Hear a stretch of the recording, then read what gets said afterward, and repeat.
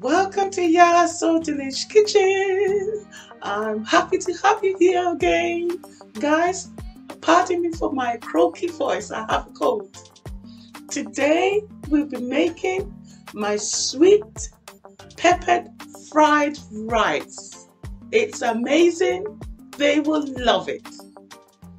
You will need 1 kilogram cooked rice, 5 medium sized red onion, diced and chopped. You will need to keep one aside for frying later. 4 sticks of spring onion chopped, 1 stick of ginger peeled and chopped into small cubes, a cup of mixed vegetable, this is optional, one and a half cup of oil,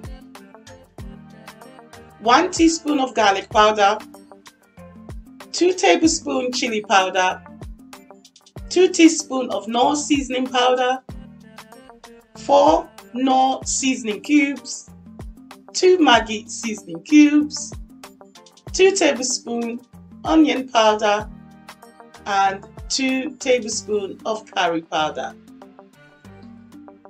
We are going to pour a quarter of the cup of oil into the blender and blend together all the chopped vegetables and the seasonings together.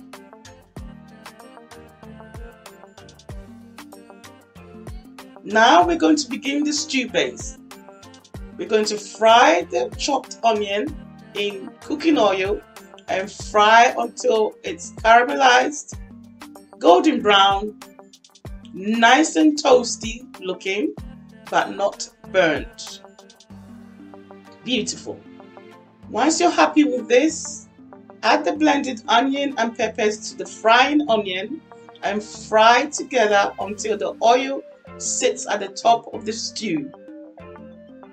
It is at this point that you will add your optional vegetables and stir and cook for a further 10-15 minutes. Do a taste test between this time and add more Knorr seasoning powder if needed.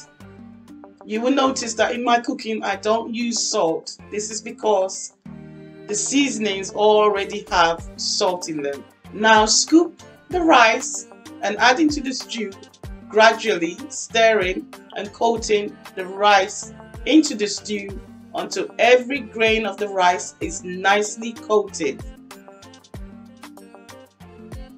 Oh, this is looking amazing. The aroma in this kitchen, it's divine, it's beautiful, mouth-watering.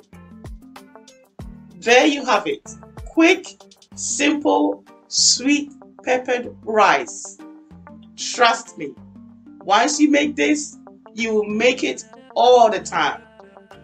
You can pre-make the blended vegetables and freeze it for when you come back from work and you're too tired to make this. Make it simple for yourself. Take it out to the freezer, cut it, fry it, add your rice, and there you have it. Within 15 minutes, you've got a healthy cooked meal.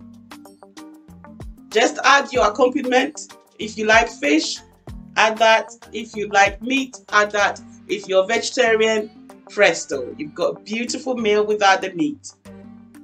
If you enjoyed cooking with me, please give me a thumbs up, subscribe, and share with Santa and his reindeers. Yes, we're getting ready for the Christmas.